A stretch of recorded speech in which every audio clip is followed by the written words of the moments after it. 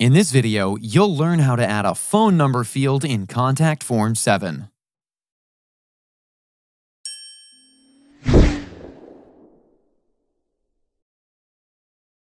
To get started, make sure you install and activate the Contact Form 7 plugin.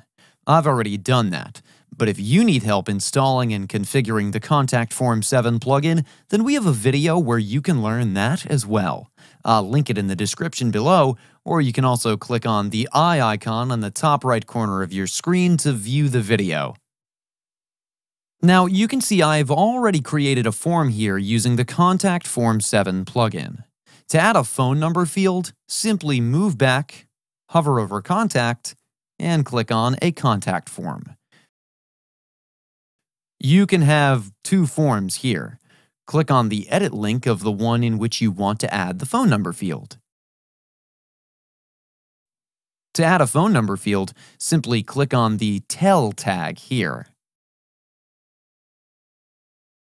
In the pop-up, you can see some field-related settings.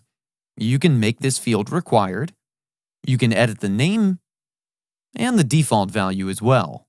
Once everything is in place, simply click on the Insert tag. Let's add the label name here like this.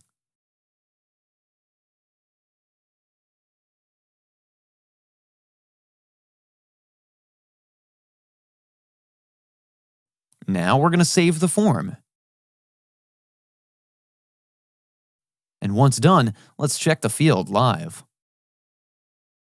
Simply refresh the page here, and you can see the phone number field here. This is how easy it is to add the phone number field in Contact Form 7. That's it for today's video. If you have any questions or comments, please leave them in the comments section below. And if you like this video, please click on the like button.